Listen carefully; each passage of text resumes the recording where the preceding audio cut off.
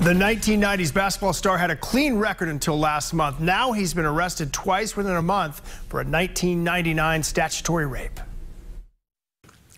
After his arrest last month in Cranston, Abdul Abdullah told Target 12 he had verbal permission from his Georgia probation officer to move to Rhode Island, and he claims the officer said he could report to him with monthly phone calls. Court records indicate Abdullah pleaded guilty to statutory rape in 2005 after he was arrested in 2003 in a case involving a 14 year old victim who was the daughter of Abdullah's stepsister. He was initially charged with six counts, and according to his court file, he was sentenced to 10 years with six months months to serve. Despite his claim that he had permission to move from Georgia, he was arrested on a 2006 warrant for allegedly violating the terms of his probation. Then just last week, Providence police filed an arrest warrant that states Abdullah had a duty to register as a sex offender in Georgia and that duty would carry over to Rhode Island.